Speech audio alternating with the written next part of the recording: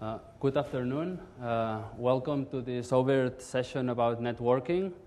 Uh, I belong to, to the oVirt team, specifically in the Python part of the networking. So for Java-related questions, uh, I will maybe have to defer. Um, the agenda for the day. Uh, we're going to go first with a little bit of introduction. Uh, how many of you were on the oVirt introduction session? Okay, that's, that's less than half, so maybe I will stop there a little bit more. Uh, then we're going to go with features, just, just the networking ones. I'm not going to concentrate on the rest. Uh, we're going to see a little bit the, the architecture. Uh, also, like I'm going to give a general uh, view, but, but then I'm going to center on networking, obviously. Then configuration, how we do the stuff we do, and what you can actually configure, uh, the roadmap, and a bit of conclusion. And then uh, time for questions. Uh, if anybody wants to take a question during the presentation, you're, you're welcome to do so. Just raise your hand, and hopefully I will see you. So, introduction.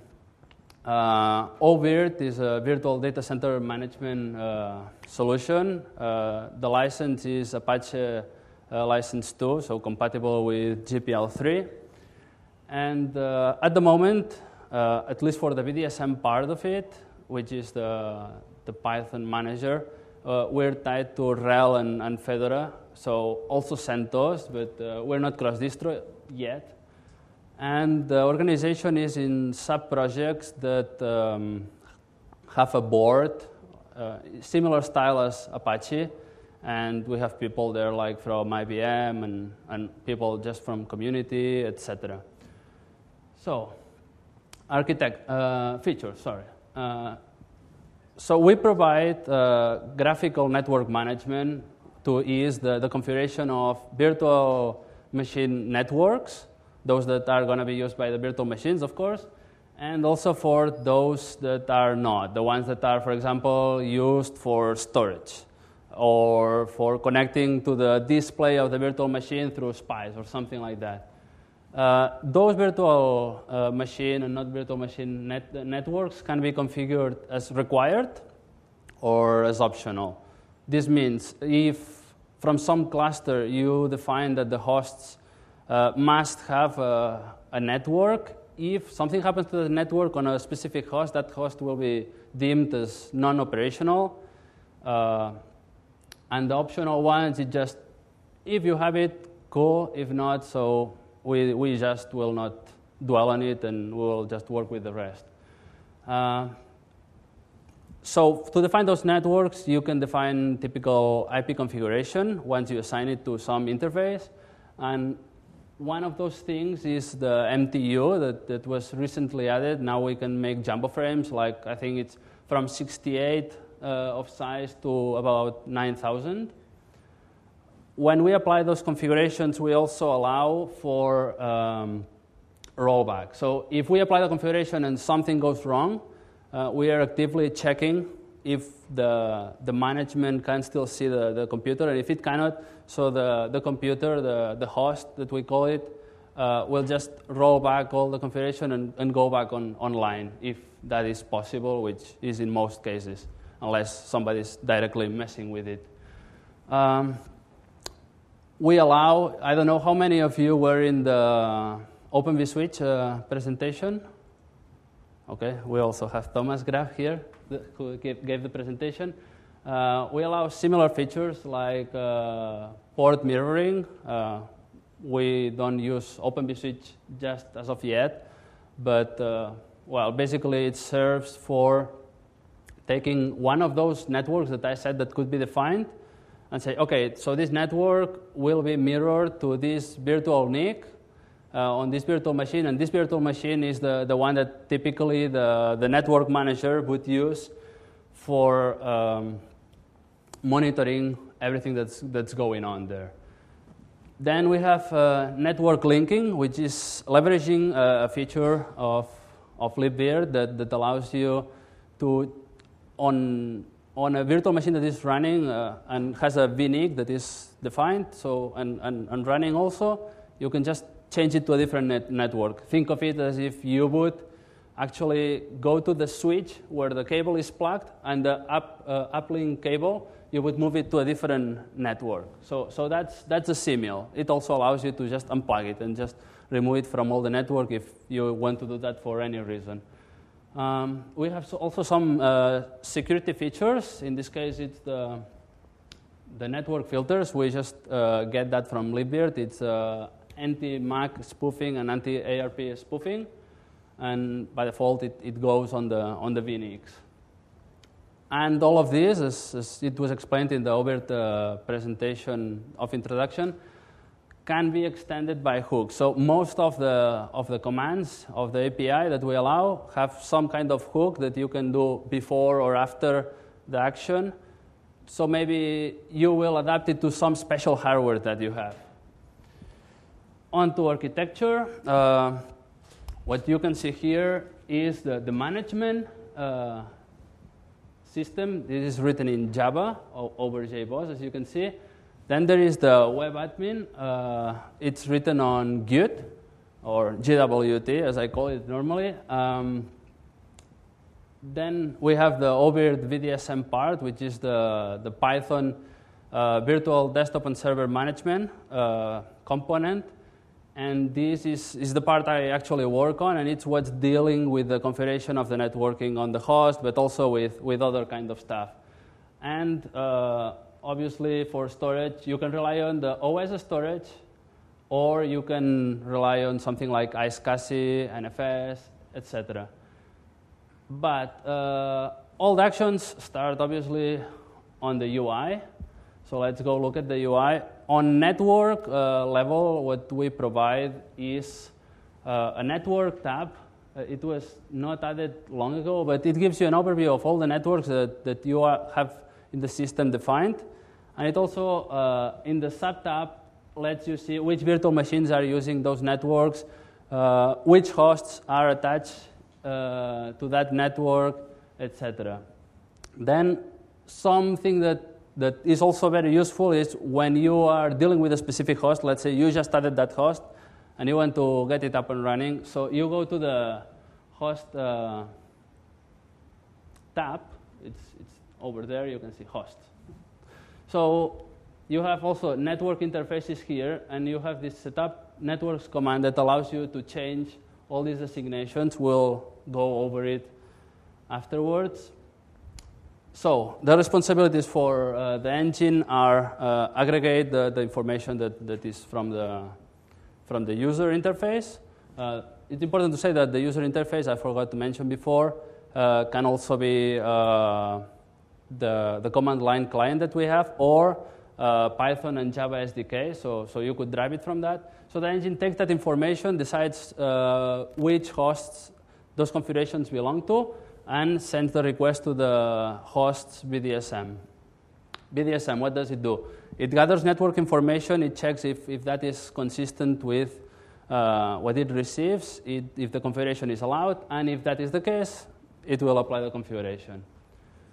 So configuration then, since we're talking about this. Um, the basic configuration, it looks very, very similar to what you saw in the, in the Open vSwitch presentation. So basically, uh, we have a software bridge. In this case, it's uh, the, the traditional kernel bridge uh, that is plugged to a single NIC. There will be more options afterwards, more advanced configurations, but this is the basic case. And when you create virtual machines and add network interfaces on it, you have VNICs, and you can put as many as you want on a software bridge. So there is an identity here that we have. It's one logical network is uh, backed by one software bridge.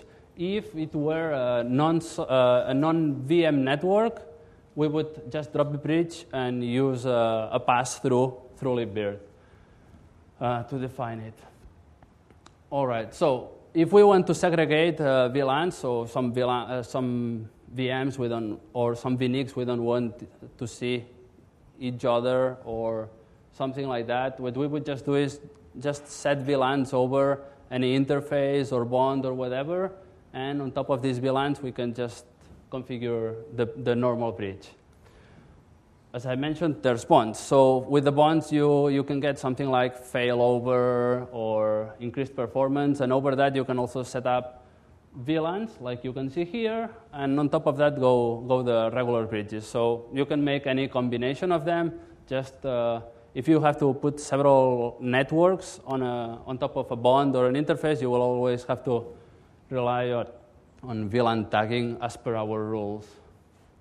So how, how, do, how does this work? How, how the user can uh, do this configuration? So there is the, the setup networks button that I said before. It spawns this, this web interface, and it allows you to attach uh, networks to the devices and to bond. How, how does that look like? Okay, so I can just take uh, this interface, uh, if it were free, currently it's attached to a network, I could uh, potentially move it over to a bond and it would just add it to the bond. But if you have two that are not assigned, actually what it displays is uh, this menu that uh, allows you to choose a name for the bond and also to set the typical bonding options that, that the kernel allows. Um, so you just separate them by spaces and, and, and there's that. So what, what do we do with the network? So as, as you can see here, we have the required and non-required networks. So with the required networks, you just drag them here. If you want to remove them, you drag them out. Uh, and when you want to remove them, so you just do that. As soon as you attach more than one network, uh, it will, when you want to apply, it will tell you if, if they are not VLAN, if it's something wrong. So it, it will show you a nice message.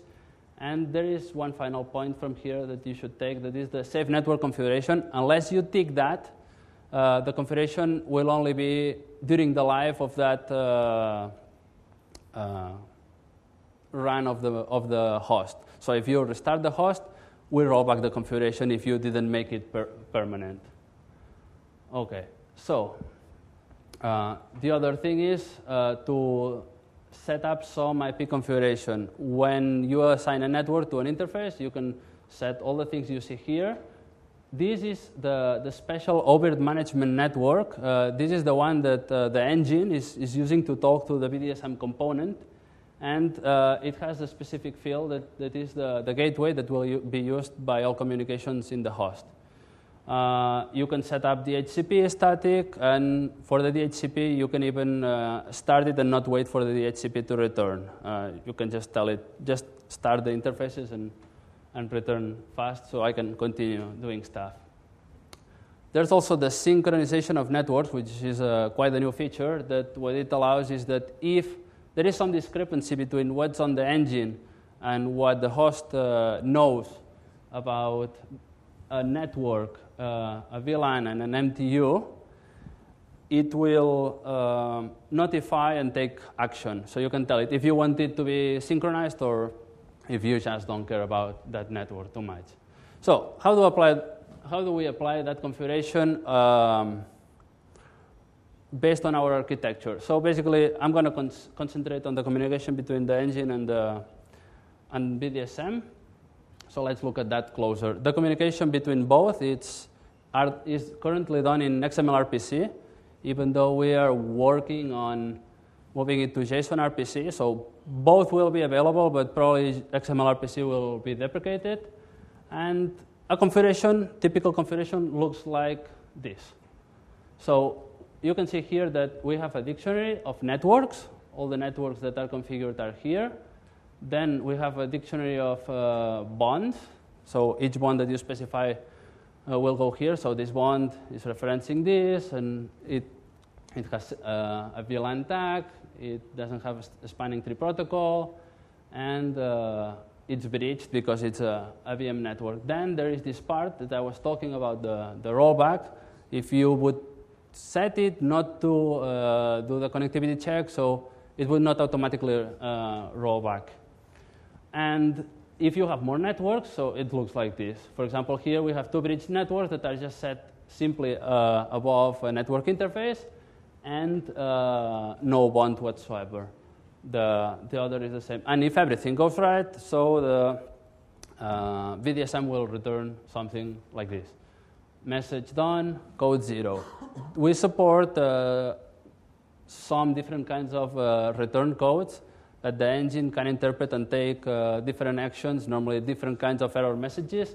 And on top of that, we can provide a special error message very specific to the, to the exception or error that happened. And that uh, allows us to, to give a little bit more information to the user. So, how does VDSM process this XML RPC request?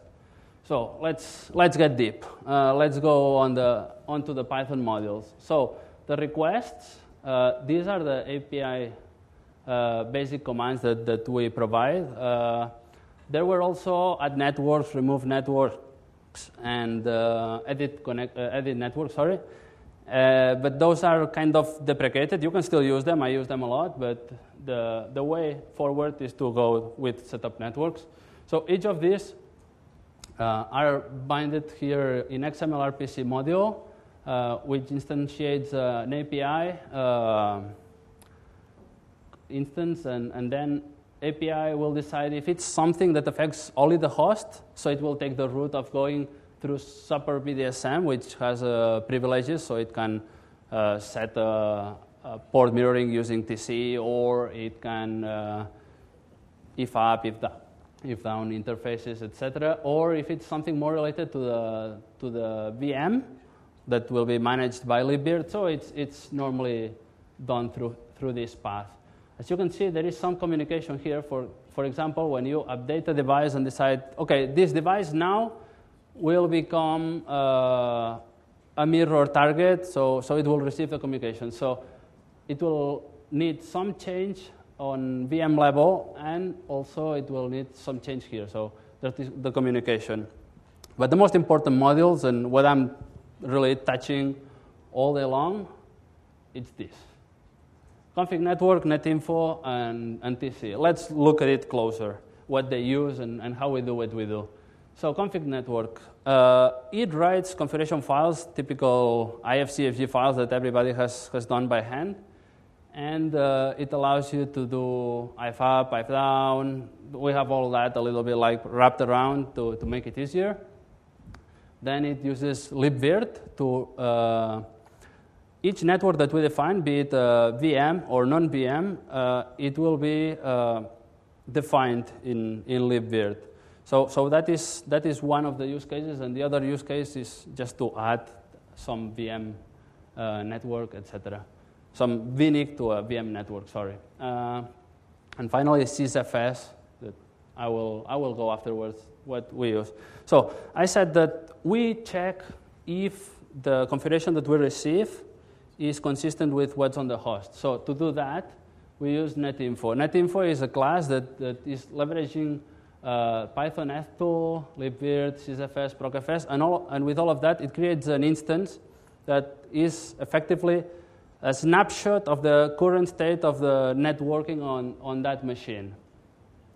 Uh, so before we prepare an action, we will check the, the, the, snapshot.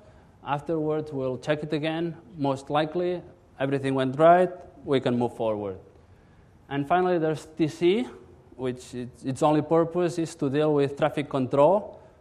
But we're not providing QO, QoS as of yet, so what it does mainly now is just use IPRoot and Python ethtool to do the, the port mirroring thing. So let's look a bit closer for what do we use each thing. So initscripts, uh, our flow with it is just to back up the IFCFG files of the devices that we are about to modify. Then we uh, take them down, write the new uh, the new version that is consistent with the configuration we received, and then we just if up. If everything goes right, so perfect. If not, we'll roll back with what we backed up. Uh, sysfs. Uh, okay, so for all the devices, the most basic uh, functionality we need sysfs for is to list the devices of each kind that there, that there are. So bonds, VLANs, NICs, uh, and bridges, but on top of that, we also need to know things like the MAC address, the upper state, the speed, uh, the slaves that are on a bond, uh, the ports that are on a bridge, things like that. ProcFS. So uh, for, from this, we get the routes that are currently defined. We don't do as much with the routes as, as we could. So, for example, now the gateway uh, is not checked much. It's only checked that, that it's a valid uh, IP address format. But it would potentially be beneficial if we would check if we have a route to that IP uh, to be more, more accurate and, and detect errors and prevent people from shooting themselves in the foot.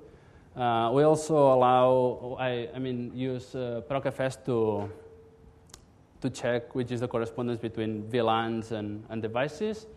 And uh, also, we check, because when you add some interface to the bond, it, it, it might change uh, its MAC address, and it's important in some cases to know which was the original MAC address. So for those reasons, we also use ProcFS uh, Python ethtool. We use that not only on VDSM, but also in the guest station. So on virtual machines, we, we get the IP addresses uh, as well as, as we do here. Uh, also, the device list is a way to, to get them in certain cases. And finally, set and, and get flags. We use that to set the promiscuity mode for the, for the port mirroring thing. Uh, IP route is just currently uh, TC, we uh, only use the traffic control from it. Uh, and from libvirt, we define the networks. Uh, we change the correspondence between VNIC and network. We hot plug and hot unplug uh, NICs. I don't know, everybody is aware of the hot plugging thing? Yeah, I guess it's, it's fair to assume. So it's just like creating a, a VNIC on, on a VM that is already running uh, change a VNIC that is already there, as I explained before, like you can take the link down or something like that. And then the, the filters that I talked about before. So, roadmap. What, what are we looking uh, onwards? So, what we're looking onward is twofold. There's the engine side uh, and the VDSM side. I mean, of course, these features both need a little bit of work on on, on, every, on every side, but uh, they mostly belong to one of the places. So we are trying to add, and we have some prototype running of network defined, um, programmatically defined uh, networks via providers. So at the moment, the one that we're working, uh, working with is Quantum. Uh, and you can just go to the Quantum page, uh, set up uh, some network, define it, and it will automatically show up in the oVirt management uh, page. Then we have to further develop the, the permissions for network. So maybe I, will, I want to let some user do some actions on, on network, but only some. I don't want to, to let everything so from the user portal, maybe something will, will be possible to do. Uh, IP allocation ranges and IPv6, because as you saw before in, in, in all those uh, slides that we were setting IPs and, and so on, we did not really uh, have support yet, or we still do not, in fact, uh, for inputting an, an IPv6, and, and that is something that, that's due to change, and we are receiving some patches already in that way for the VDSM part. Okay, so uh, one thing is network migrations. It already hit the, the upstream uh, repository, which I will link to afterwards. Uh, basically migrate uh, network between hosts. Uh, then we have uh, a new feature that is currently on draft state, and, and it's really the way forward, not just because I'm in charge of it, of course. that is for all the network entities like NICs, bonds, VLANs, uh, bridges, or everything that, that might occur in the future, to have uh, an object-oriented rep, uh, representation that will allow us to have the flexibility to define other entities as, as it is needed, and uh, also to, to have a configurator backing. What, what, what are configurators? Okay, configurator is currently, as you saw, we're just using init scripts. We just write the IFCFG file, and we take it down, take it up, roll back, whatever. So, and that we do for, for everything. So the, the way forward that we see is that each of the entities of those representations will be able to have a, a, confi- a specific configurator. For example, let's say the bridges will be possible to be configured with the IP route to IP2, for example, or via netlink using libnl, or you can just define it in Open vSwitch. And then you can you get all those features of Open vSwitch for free, for example, or almost for free. You only have to write the configurator. Uh, another case, very, very new, is maybe the bonds we want to use uh, TeamD, which, which is uh, another kind of bond that is partly also on user space in, and it's less buggy, let's say, because the, the traditional bonding has these, these issues everybody knows about. Uh, or if you don't know about, just in some rare cases, you can do some damage to the kernel with, with the bonding. Uh, so it's important, keep the, the kernel updated. Uh, and in the beginning, this configurator thing, like you will have mostly a set thing because we're not changing the API of set networks. But uh, so you, you, it will be predefined what will be used for each thing. But in the future, we uh, are looking into allowing the, the user from the management interface to say, okay, I want this particular thing to be backed uh, by this configurator. The final roadmap features, uh, uh, and almost the end of, of this presentation, is the live network information. The live network information is currently we're just taking snapshots like Matt, so you can imagine that if you need, you would need to do uh, a lot of operations in, in some use case in a network. Let's say something that I tried. uh, add 300 networks, logical networks via uh, the old add network command. The old add network command didn't define all the networks at once, like setup commands, but sent one request per, per each command. So what, what happened with that is that before each action, especially if it had bonds even more, uh, it was uh, getting a snapshot, doing some modification, getting a snapshot, and so on. So you can imagine that reading all the state of the network uh, is a little bit troublesome. Uh, it, it really took a long time. I think the, the last time I clocked it uh, was, was taking more than 10 minutes, uh, quite more, let's say. And with live network information, what we would do is we would take a snapshot, the initial one, we would probably keep it as it is, just using the, the same stuff that we do. But then we would uh, use libnl uh, to register to netlink uh, events like link creation, uh, address addition, stuff like that. And uh, we, it would automatically up- update the information so we don't need to spend all the time in rereading everything and uh, that obviously will help us scale. And another thing that it might favor in the future, this is still not even drafted, but uh, a live network information or the ab- ability to register to events uh, might help us define some actions for some events. Like, for example, let's say the bridge goes down. Somebody goes to the SSH to the host, takes the bridge down. So we might register to that event and uh, remove that network from, from libvirt and, and somehow tell the engine, hey, something, something is going on here. Maybe this host should be taken as non-operational. So, conclusion. I hope that, that it showed somehow, even though I didn't show too much of the, of the UI, that uh, what it allows is to make the, the network management easy uh, because you, you really can just drag and drop the stuff and it, it manages all the complexity for you. Uh, that we're not using anything special uh, or arcane, we're just using the, the typical OS tools plus libvirt, and that we are working on adding more features uh, all the time and adding other technologies and pieces of the stack to empower the users to achieve more. So, all that is remaining to say is just try it, get oVirt, uh, download it. it. You can go to ovirt.org.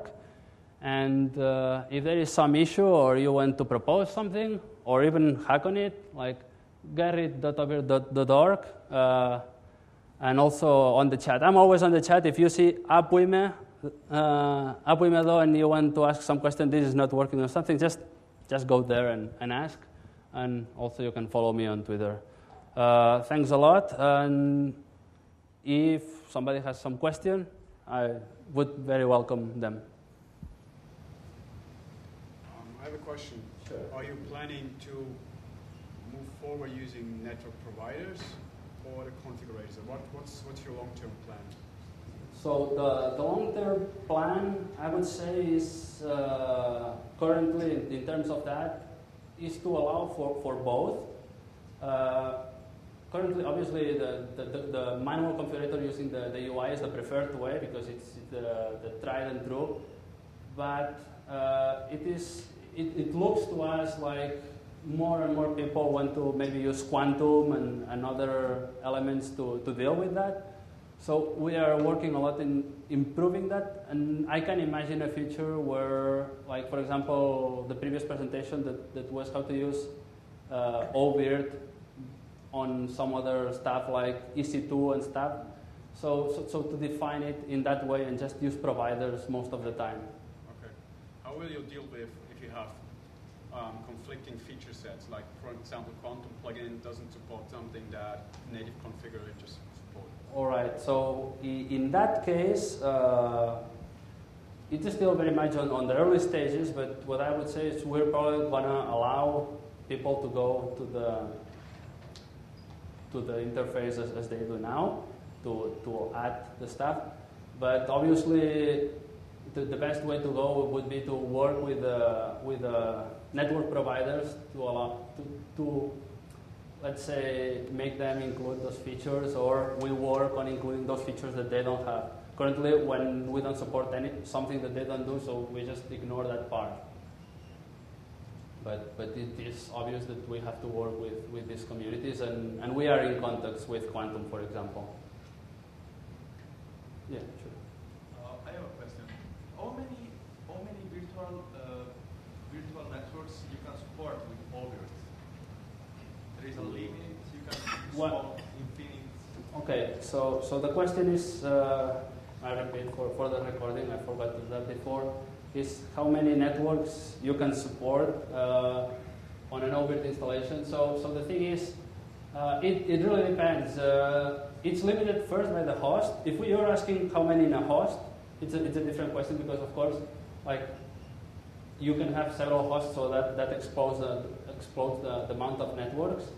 I don't think there is a hard limit for, for networks that are defined, logical networks, but on a host, of course, you're, you're limited by the amount of interfaces, uh, by the, I think it's 2048 or something like that, VLANs that you can do, because for, for any single NIC or one we only allow like to put VLANs, to, to put several networks in it. Uh, I think it, it would be a, a funny experiment. In fact, uh, I'm playing all the time. Like when I'm testing, I'm using nested virtualization. So because sometimes I want to try, hey, what happens with uh, 10 NICs? So I don't have a computer with 10 NICs. Uh, so I have nested virtualization and I try that. But and, and I think it, it would be interesting to see how that uh, how that works. I mean, how much can we really support? Yes. So are there any plans to offer the Quantum API? Okay, so you mean, uh, well, the, the, question is to offer the, the Quantum API uh, to define uh, the networks in oVirt. Yes. Well, the, the thing is, um, I would say that the integration goes more in the direction of having Quantum running, defining the stuff there, and then subscribing to that. Uh, and I don't think that there are any plans for, for doing that directly, like re-implementing quantum. It's, it's not really on our scope. Um, any other question? I, I, have a sure. Do, you, you sort of have to have some uh, host level support for the given OS as you modify the ifconfig files, right? Yeah. Do what, what kind of uh, OSs do you support? Like so the OS is basically, uh, as, as, I showed uh, in the beginning, just, uh, sorry, the question was uh, how many or which OSs do we support. So basically RHEL, uh, CentOS and well, all L clones, but I think CentOS is the one that is used most, mostly by the community, and uh, Fedora. Once we will have this configurator thing that I'm talking about, then we're just the first configurator that comes to my mind, apart from the one that is using IFCFG, just will be a refactoring of the current code. Uh, we'll be using IP Root 2, and for this reason, it will support any uh, reasonably modern Linux distribution. So, for example, I'm testing at home with, with Arch some, when I'm prototyping, and, and, hopefully that, that will be the case, that all, all of them will be supported. A lot of people are asking Ubuntu and stuff like that. Uh, sure. What is the current limit of the amount of hosts per virtual network, for example?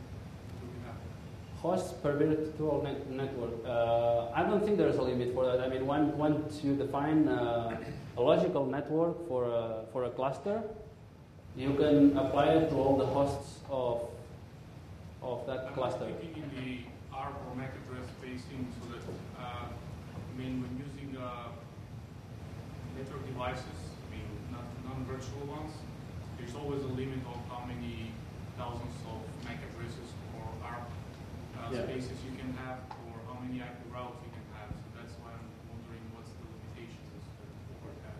Okay, um, so the question is uh, if there is some limitation or which kind of limitation do we set for networks uh, that are defined like on a cluster?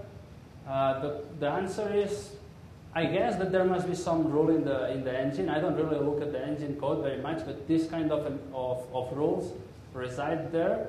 And if it's not there, like, of course, we have the physical limit, as, as, as you said. Uh, but it, it's a good question, and I'm, I'm gonna ask uh, to the engine guys, and I can refer to it. Maybe, maybe he knows. That maybe I can help. Uh, basically, the network configuration is, uh, is just a configuration that you can set for the engine. So whatever you set, you set the, the net address range. And from what, from what I know, uh, every new VM that you will uh, create will get an address from this uh, pool. There there is we create a pool of MAC addresses out of the, the range. Yeah, but is there a, is there a limit on how big that range can be, or how many hosts can be in one virtual, depending on the MAC address space? Oh, Or are, are pages? so this is uh, Okay, um, I'll look. Yeah, it up and yeah. After, afterwards, uh, I, I can give you the contact of somebody who certainly will know where uh, th- that rule is set or if it's set at all. Uh, I think there was a question farther back. You just said that you're using uh, uh, um, virtualization for development, or did you say? Ah, yes, uh, nested virtualization. Yeah, nested KVM. And, and how it works? Uh, well, basically, you cannot do it in RHEL verbatim. Uh, you can do some tricks. Uh, for example, I set it up the other day for, for my colleague here. Uh, basically, anything or newer than a 3.0 kernel, I think. I think it's even earlier, but I, I don't recall, but I know for sure that 3. something onwards will support it. Uh, the Intel KVM module has an option called nested. If you set that to yes, uh, you will be able to create a virtual machine, and that virtual machine on top, uh, inside it, you, you will be able to run other virtual machines on top. So my typical use case is uh, I have a Virt Manager uh, installation. I have several uh, that, that is on a machine that has the nested. Then on it, I, I create virtual machines that have uh, the amount of NICs that I want to test with. Uh, and those machines that are virtual machines, I set up as uh, hosts uh, for the oVirt manager, and, and those can run other uh, virtual machines on top, and I can test if, if that is all working well. There's a caveat there. Uh, you have to be careful with, uh, with the nested virtualization because even though it works, it might behave finally in some cases like if I remember properly, there was an issue with hot plugging. I'm not sure if it's still the case, but I ran into some issue with hot plugging to the second level of, of virtual machines, to, the, to hot plugging uh. So just to have that in mind if you want to try. But it's really, really useful to do this kind of, of setup for testing. And we're out of time. Uh, if you have some other questions, I will be outside for like 20, 30 minutes and you can, you can ask. Thanks a lot.